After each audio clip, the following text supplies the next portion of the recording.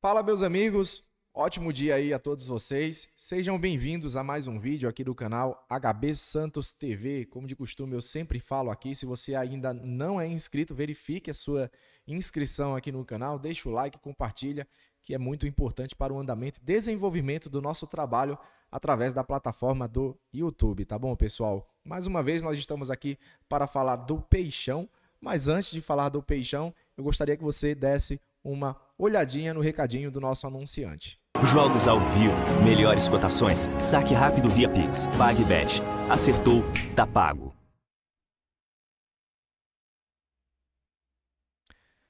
PagBet, acertou, tá pago. Quem ainda não se cadastrou na PagBet, se cadastre através do link que está na descrição do nosso vídeo, tá? Com a PagBet você pode estar fazendo saques rápidos via Pix, além de estar assistindo aos jogos do futebol mundial através do aplicativo. A PagBet é o seu mais novo site de apostas esportivas, tá bom? Então, PagBet, acertou?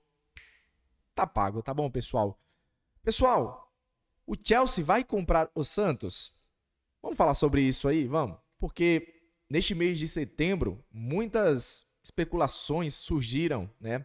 Depois que o Jorge Nicola é, falou sobre este assunto, né? Praticamente soltou uma notícia de que o Chelsea estaria investindo, né? Fazendo um investimento aí no Peixão. E o Rueda já falou que não aceita compradores do Santos, mas que aceita investidores, investidores, né? E será que o Chelsea vai estar comprando o Santos, né? Depois de Bahia, depois de Vasco, né?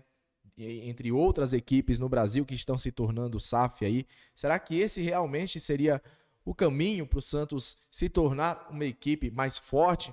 Então vamos, vamos ver aqui da onde surgiu essas notícias, surgiram essas notícias, tá? E eu vou expor minha opinião aqui para vocês se o Santos deve ou não, né, ser comprado por algum clube nos últimos ou em breve, né, pessoal? Vamos ver isso aí.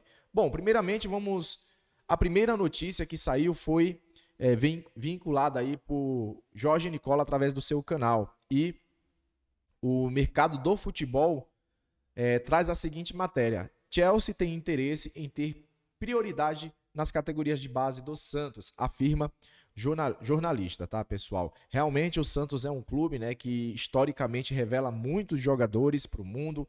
É um time que, que é, acho que no Brasil não existiu um time para vender e revelar mais jogadores que o Santos, né? Muitos até não entendem por que o Santos vive é, essa situação ruim financeiramente falando nos dias de hoje, né? Ninguém entende isso, né? Porque o Santos vendeu mais de um bilhão de, de reais em atletas de 2000 para cá, tá? E simplesmente o dinheiro evaporou, ninguém sabe para onde foi esse dinheiro, né?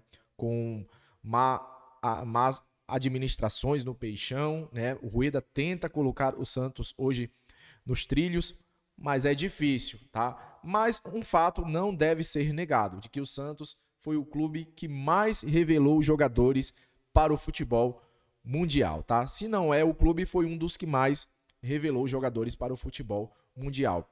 E o Jorge Nicola trouxe essa notícia através do seu canal, né? Falando que é, o, o, Chelsea é, teria procurado o Santos com uma proposta onde os valores não teriam sido revela revelados, né, sido revelados, mas seria uma quantia é, enorme, uma quantia muito grande, tá? E essa notícia repercutiu nas redes sociais entre os torcedores do Santos, alguns torcedores falando que o Santos deveria aceitar a proposta, a proposta do Chelsea, outros torcedores falando que não, que não deveria aceitar a proposta do Chelsea, né, não deveria vender a sua categoria de base, né, ou dar prioridade de compra ao Chelsea. Lembrando, eu não sei se pode, se nós podemos dar o nome de vender a categoria de base. O fato é que o Chelsea queria a prioridade de compra dos atletas das bases do Santos, tá? Ou seja, sub 11, sub 12, sub 15, sub, sei lá, sub 17, sub 20, enfim, as categorias de base, o Chelsea teria a prioridade. E para isso, eles estariam fazendo um aporte financeiro ao Santos. Por fim, o Rueda não confirmou realmente essa notícia, tá? Apesar de do Nicola falar aqui que os valores são astronômicos, ele não divulgou também qual seria né, a, a quantia exata que o Chelsea estaria é, investindo no Peixão. É, o Rueda falou: nós queremos investidores e não compradores. E talvez aproveitando essa frase aí do Rueda, o Chelsea, o Chelsea né, é, é, se aproveitou do momento para fazer a oferta. Talvez a oferta realmente tenha existido, né, mas o Rueda achou melhor não aceitar porque realmente a base é o nosso bem maior, é o maior bem do Peixão, tendo em vista tudo aquilo, todos os jogadores que o Santos já revelou aí nos últimos anos, tá, pessoal? Enfim, né? O que foi. É, eu vou dar um exemplo aqui de jogadores que foram revelados aí pelo Santos é, nos últimos anos, tá bom? E foram eles: Diego, Robinho, André, Elano, Renato, Neymar, Ganso, Wesley, André, Gabigol, Geovânio e Rodrigo, tá, pessoal? Lógico, né? Ainda tem alguns atletas aqui, vocês podem estar deixando aí nos comentários se eu estou esquecendo de algum nome, mas esses foram atletas, né, que foram vendidos aí por uma boa quantia pelo Peixão, né? E esses jogadores aí somam cerca de 800, quase um bilhão de reais de venda nos últimos anos, tá, pessoal? Então, assim, essa foi uma matéria que saiu, né, e porém ainda não foi confirmada. Logo em seguida, saiu a matéria dizendo o seguinte, tá? Os ingleses querem bater de frente com o Chelsea e fazem de tudo para comprar o Santos com negócio de milhões. E clube responde interesse. A informação veio à tona nesta quinta-feira, dia 15, pelo Evening Standard, né? Está é, está agitando os torcedores nas redes sociais, tá? É, os ingleses estão ficando loucos para aterrissar em solo brasileiro. Depois de Bahia, Vasco da Gama e Botafogo, mais um time é alvo dos gringos que desejam injetar muita grana no Brasil. Nesta quinta-feira, dia 15, o Everton Standard é, trouxe à tona uma informação, acho que é um jornal inglês, tá? Que pode mudar o nível do gamer nos próximos anos, né? A, a bola da vez para o Chelsea é o campeão da Libertadores, Copa do Brasil é, e Brasileirão gigante por natureza, assim como muitas equipes brasileiras. É, e não tem nada mais, nada menos do que uma dupla de garotos propagandas formada por Pelé e Neymar. O Santos já se posicionou quanto a ser vendido neste momento, que foram as palavras lá do Rueira que já falou que não pretende vender, mas aceita investidores, né, pessoal? Então, segundo esse é, veículo de comunicação, né, dois é, empresários lá do, do da, é, dois empresários ingleses, né, estavam estariam afim de comprar o Santos. Porém, o valor do Santos, eu já falei para vocês aqui, não tem como precificar, né, na realidade, o valor aí do Peixão, tá? Eu acredito que os valores que eles estariam né, fazendo aí de aporte financeiro ao Santos não superaria as nossas expectativas. E há uma burocracia muito grande, né? há uma, uma, uma resistência por boa parte da torcida em relação ao Santos ser vendido, tá, pessoal? Eu acredito que para vender o Santos teria que mudar estatuto, né? Teriam que colocar aí os pingos nos is, porque muita coisa iria mudar, por exemplo, não poderia mudar o, o, o escudo, as cores e tudo mais. Isso aí gera uma banana, tá? De complicação ao clube por enquanto, tá, pessoal? Eu já falei para vocês, SAF não é a solução, mas provavelmente deva ser o caminho de todos os clubes nos próximos anos. Inclusive até o Atlético Mineiro estaria entrando nessa aí de se tornar SAF, né? Enfim, estes caras, eles estariam, né, aqui não não não sei se tem um nome aqui, são os os donos do Chelsea, são os donos do Chelsea, cara. Tá aqui a informação. Os donos do Chelsea né, estariam dispostos a comprar o Santos. Tá? Bom, parece que o Rueda respondeu e falou que não venderia o Santos.